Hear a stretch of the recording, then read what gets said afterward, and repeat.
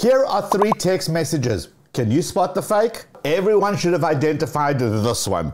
It's obvious. The weird sender number, the badly written message, and of course that dodgy link. But here's the thing there was another message that was also fake, and that one was harder to spot. Scammers are getting much more sophisticated, which makes it much harder to tell the real from the fake. The reason we knew this message was a fake was because it had all the telltale signs. The sender's number is someone we don't know. I mean, if it was, it would have had a name which is saved in our contacts. But what if a message appeared, but this time it looked like this?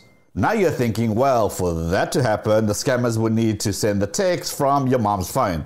Well, actually, no. When you use a bulk SMS system to send out mess text messages, companies have the option of putting their company name instead of the number.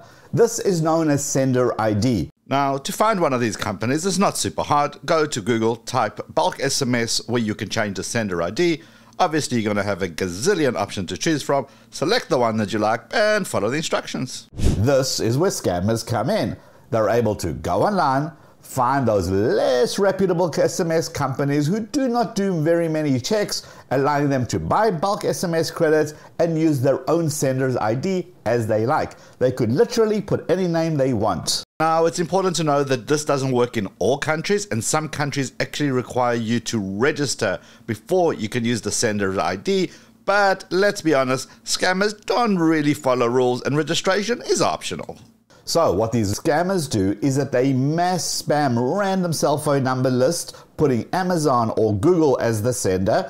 And if you're a Google user or an Amazon user, if that pops up on your phone, at the very least, you're going to have a read. Okay, so let's look at the message itself and then I'll show you which one of these two is actually the fake one. We tend to assume the messages are going to have all these grammatical errors. Whilst this is still true, many scammers are turning to AI tools to write their messages for them.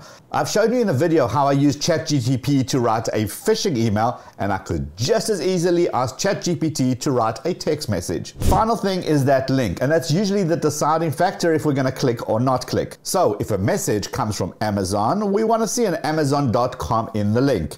Here, two scammers have a couple of tricks up their sleeves. What they do is very slightly misspell the domain in a way that you may not pick up on a quick glance of your phone. I mean, look at this message from Amazon. Amazon.com is actually a capital A, a lowercase r next to a lowercase n.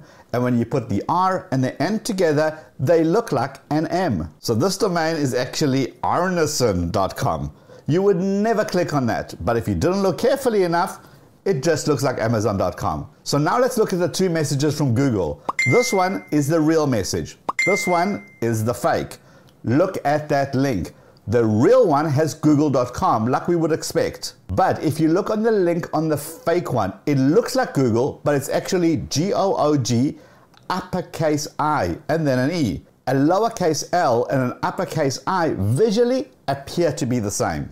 If you get an SMS with a link, don't click on that link. If it comes from your bank or from Google or Amazon or anybody else, go to that main website first. Then log in, and if there's anything that you need to actually do, that's where you're going to do it from. If the text message has a number that you need to call instead of a link, don't call that number, and certainly don't call the number that sent you the text message. All you're going to be doing is confirming you have a valid cell phone number, and now you've just been added to yet another list, and all things are going to go wrong from there.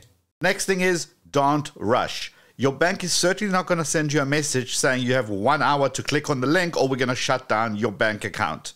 They are expecting you to act on urgency, create some panic, and they think that you need to take action immediately, and that's going to save whatever account you're trying to save. And finally, when you know the message is absolutely spam, forward it to 7726, which actually spells out spam. Most providers will accept messages to this number because it helps them learn how spammers are communicating and block them at the network level.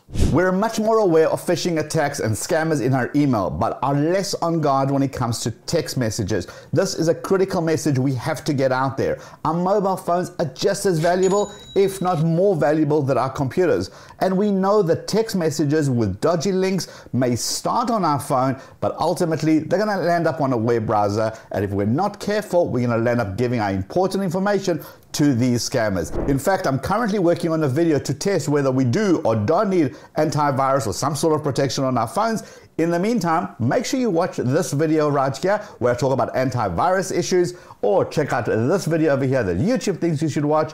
Hit the head down here to subscribe so you're notified of that new video and I'll see you in this video or this video or I'll see you in both. Let's go.